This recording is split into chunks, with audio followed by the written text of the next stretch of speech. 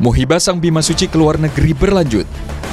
Selepas Zhanjiang Cina, KRI Bima Suci meneruskan pelayaran Kartika Jala Krida menuju Yeosu, Korea Selatan. Kembali berada di lautan, anggota kapal Bima Suci dan para taruna Akademi Angkatan Laut menjalankan aktivitas rutin sesuai tugas masing-masing. Menyeberangi Laut Cina Selatan menjadi tantangan bagi seluruh pengawak Sang Bima Suci. Pelayaran kali ini menjadi ujian bagi para taruna Akademi Angkatan Laut dalam menyatu dan semakin mengenal karakter kapal Bima Suci. Bagi Sang Bima Suci, mengarungi Laut Cina Selatan menjadi yang pertama kalinya. Yeosu menjadi destinasi penting karena KRI Bima Suci akan mengikuti event besar dalam dunia pelayaran, yaitu Sel Regatta.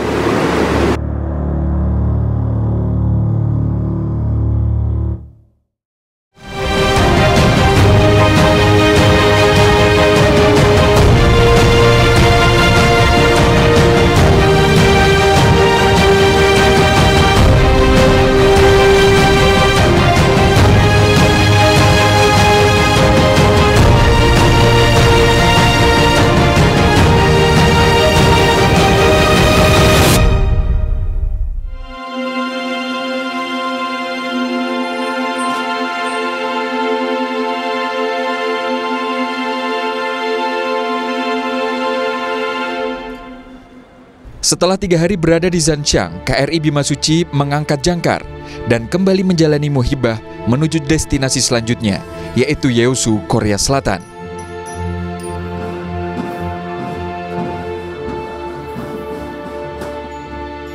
Satuan Tugas Kartika Jala Krida atau KJK yang terdapat pengawal kapal Bima Suci dan Taruna dan Taruni Akademi Angkatan Laut atau AAL tingkat 3, Angkatan 65 kembali menjalani rutinitas kegiatan yang telah disiapkan atau ditugaskan.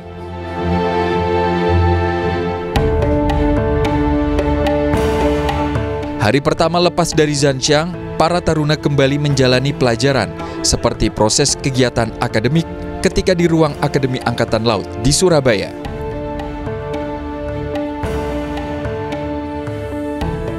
Seperti yang dijalani para taruna dari Korps Marinir. Karena ruang belajar yang terbatas, maka ruang-ruang yang ada dapat berubah fungsi menjadi arena belajar.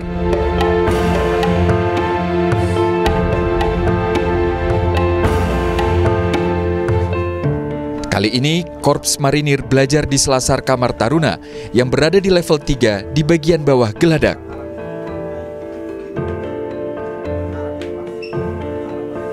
Sebagian taruna duduk menghampar santai, namun tetap serius mengikuti pelajaran dari mentor yang memberikan materi tentang serbuan teritori.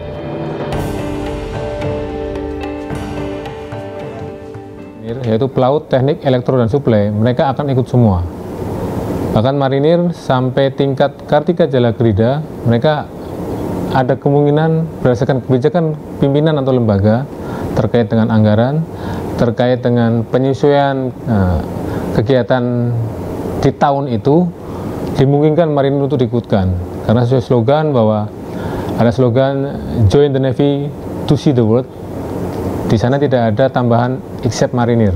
Jadi artinya marinir pun masih dimungkinkan ketika mereka memang perlu dan dari kebijakan pimpinan mendapatkan kesempatan untuk diikutkan untuk mengenal bagaimana berdiplomasi kepada dunia internasional, bagaimana memperkenalkan budaya dan pimpinan mengizinkan di sana marinir pun punya peluang.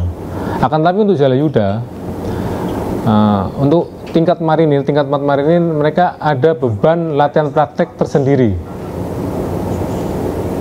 Jadi dimungkinkan manakala atau ketika pimpinan lembaga memandang perlu bahwa marinir perlu melaksanakan latihan praktek sendiri karena mereka dianggap perlu untuk lebih profesional dalam menguasai profesinya ada namanya latihan praktek Bajra Yuda.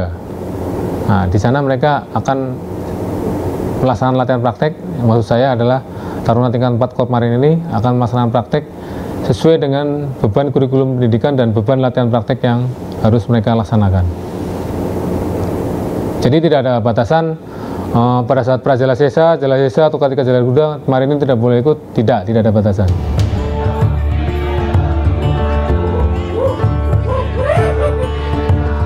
Setiap sore ketika mode berlayar, tidak ada materi pembelajaran dari para taruna. Para mentor telah menyusun materi-materi yang akan diberikan pada para taruna dengan memperhitungkan asupan materi dengan jangka waktu pelayaran. Yes,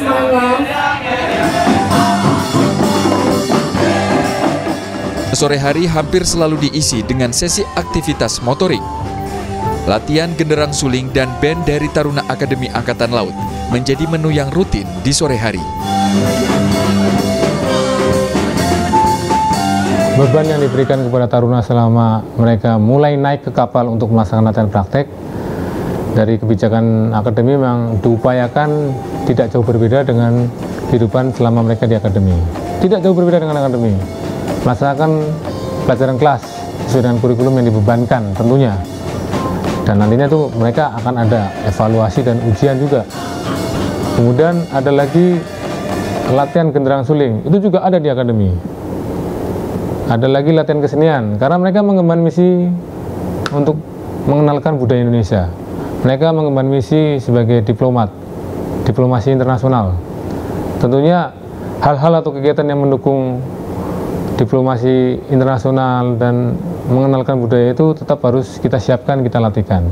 Tentunya itu menjadi beban tersendiri juga buat Taruna. Tidak mungkin tidak menjadi beban. Nah, segala kegiatan ini berdasarkan PST tadi kita atur sedemikian rupa sampai mereka bisa kembali ke kamar mereka untuk istirahat malam di pukul 10 itu.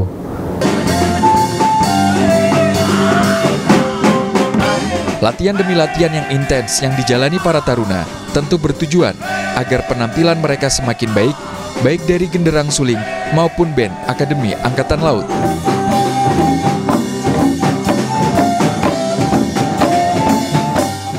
Genderang suling, para taruna sudah punya posisi dan alat musik yang menjadi pegangannya. Mulai dari tambur mayor hingga pemain trompet.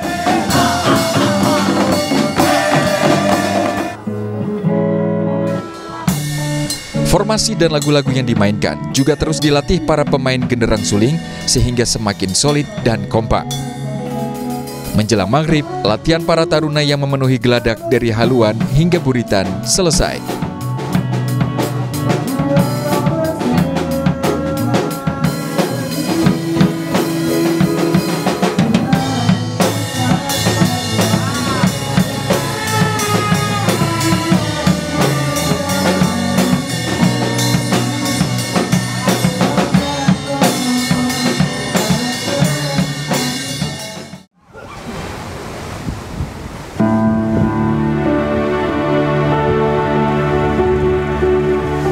Hari ke-21 atau tanggal 22 Agustus 2018 menjadi hari yang spesial karena bertepatan dengan Hari Raya Kurban atau Idul Adha.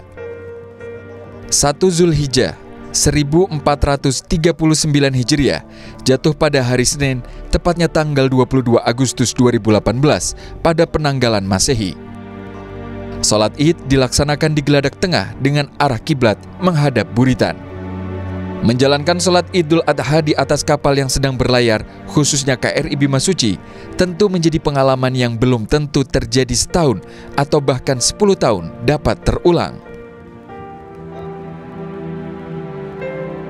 Dari Allah Subhanahu wa Ta'ala, Salawat dan salam semoga tercurahkan kepada junjungan kita, Nabi Agung Muhammad Sallallahu Alaihi Wasallam sebagai panutan dan suri tauladan kita. Begitu pula kepada keluarga, sahabat serta pengikutnya hingga akhir zaman atau masalah. Doa bukan hanya menunjukkan kita merendahkan diri kepada Allah, tetapi memang kita betul-betul memerlukan bantuan dan pertolongan Allah Subhanahu wa taala.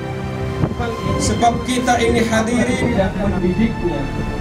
Berdoa tak sehat, tetapi mengkonsumsi sesuatu yang mendapatkan penyakit. Berdoa minta rizki, tapi tidak mau yang tidak menyandang dosa. Hadis riwayat Tabrani. Setelah hati kita bersih, sholat Idul Adha yang dimuliakan oleh Allah Subhanahu wa taala apa yang dikemukakan Para pengawak kapal dan taruna yang beragama selain Islam mendapat tugas menjaga dan mengoperasikan kapal. Seperti kebiasaan umat Islam ketika merayakan Hari Raya, Idul Adha kali ini pun dirayakan di Bima Suci. Pengawak kapal bagian perbekalan dan dapur telah menyiapkan makanan khas perayaan Hari Raya Id. Di ruang belajar yang sekaligus juga menjadi ruang makan taruna, seluruh pengawak kapal berkumpul menikmati hidangan tumpeng nasi kuning.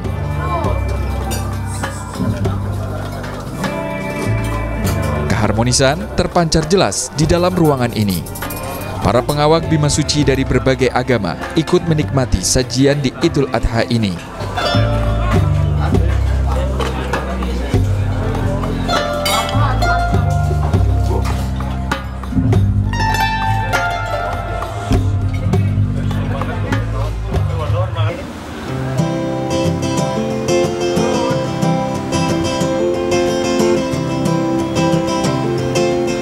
Mengisi sore hari yang cerah, seperti biasa Gelada KRI Bima Suci dipenuhi para taruna yang berlatih. Bagi para mentor dan pengawal kapal lain, biasa mengisi sore hari dengan berolahraga.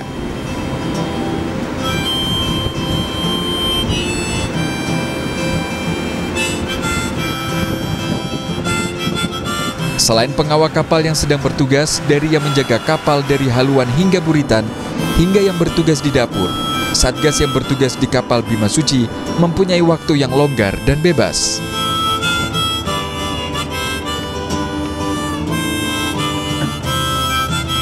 Para mentor, petugas medis, hingga komandan sering berolahraga di gelada kapal.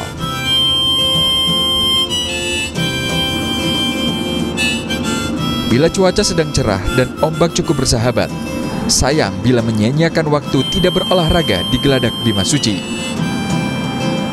Laut, angin, dan cakrawala menjadi pengiring ketika berolahraga hingga menutup senja.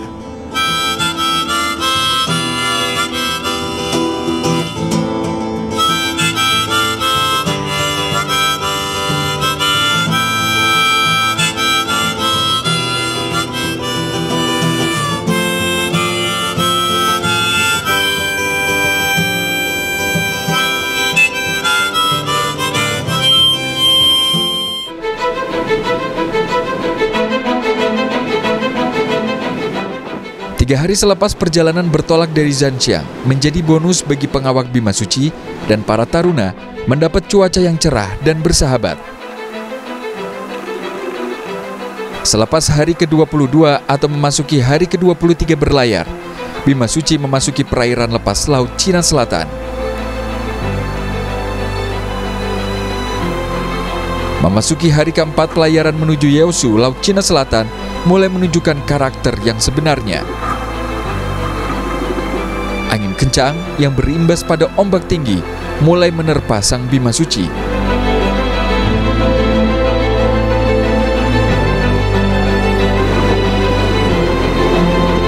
Para pengawal kapal mengantisipasi kondisi cuaca ini dengan memeriksa tali temali layar, tiang-tiang layar, hingga mengencangkan layar-layar agar tidak terbuka dan rusak.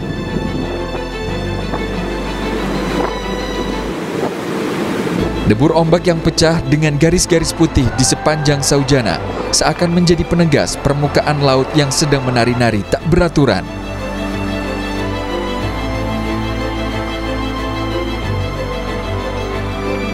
Debur ombak menghantam badan Sang Bima Suci dari semua sisi hingga tempias masuk ke geladak. Tak pelak bagian atas Bima Suci dari haluan hingga buritan terpapar debu ombak Laut Cina Selatan.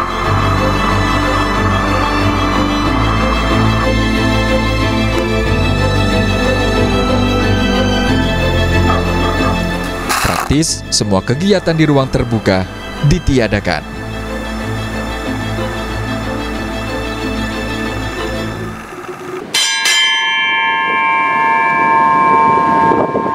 Lonceng ini menjadi tanda peringatan jam kerja, baik bagi para pengawal kapal maupun para taruna.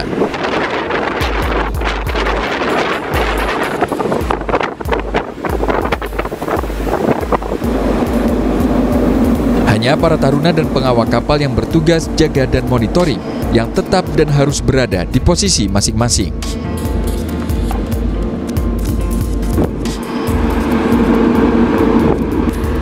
Bagi yang bertugas jaga dan pengamatan pada haluan, keselamatan tetap menjadi prioritas utama.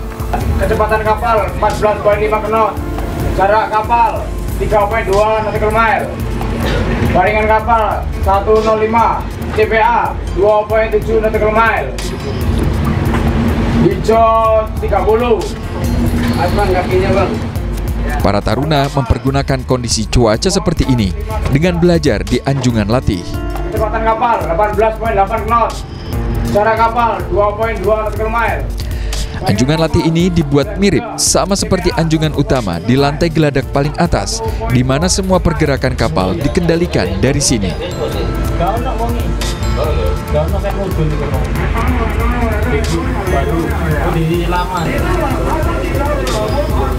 Para taruna memang wajib tahu dan kenal instrumen-instrumen yang ada di anjungan utama dan anjungan latih. Di anjungan latih ini, para taruna bisa mencoba dan mempraktekkan apa yang mereka pelajari di kelas. Kapal 043 kecepatan 14.5 knot. Tentu saja para mentor memberikan contoh dan membagi pengetahuan tentang navigasi hingga bagaimana mengoperasikan instrumen yang ada di anjungan latih ini. Terhitung dari hari ke-23 hingga hari ke-26, cuaca buruk masih terus berlangsung.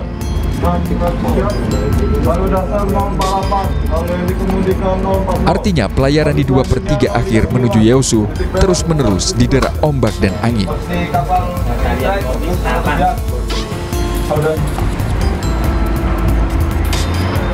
Memasuki hari ke-27, Bima Suci masuk ke perairan Korea Selatan dan mendekat di destinasi utama yaitu Yeosu.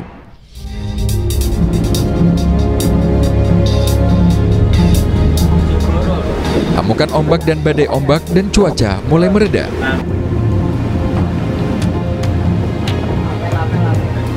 Para pengawak Bima Suci melakukan pengecekan kapal setelah tiga hari didera ombak dan badai.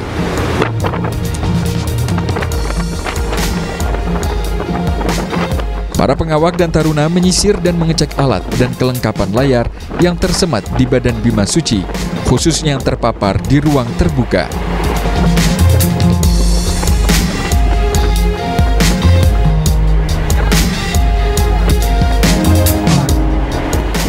Perjalanan etape ketiga yaitu dari Pelabuhan Zhangjiang menuju Pelabuhan Yeosu Korea Selatan patut diwaspadai oleh KRI Bima Suci karena kita berlayar di Laut Cina Selatan dan yang harus selalu diwaspadai adalah kekuatan angin yang besar dan kita menemui angin besar ketika kapal sampai di Selat Taiwan.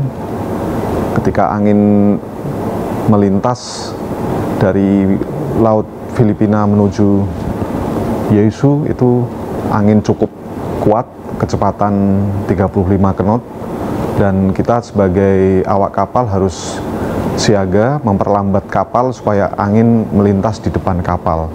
Dan waktu itu kapal hanya membuka layar dua yaitu layar dastur dan layar jeep.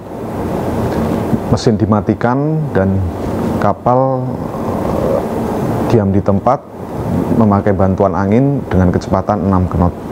Itu untuk memperlambat laju kapal dan angin melintas di depan kapal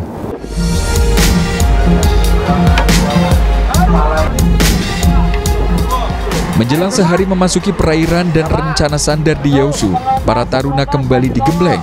Pengetahuan dan pemahaman tentang layar.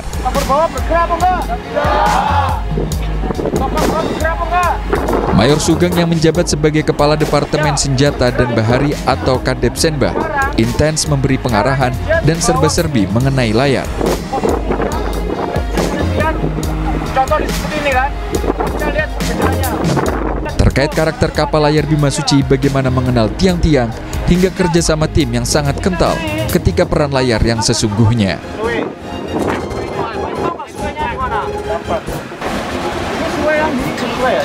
Pengetahuan berupa arahan dan pendalaman praktek tentang layar yang semakin diperbanyak bukan tanpa sebab. Ini ada di apa namanya tengah sini. Yausu menjadi titik kumpul dan registrasi perhelatan event besar bagi kapal layar tingkat dunia, yaitu Sel Regatta.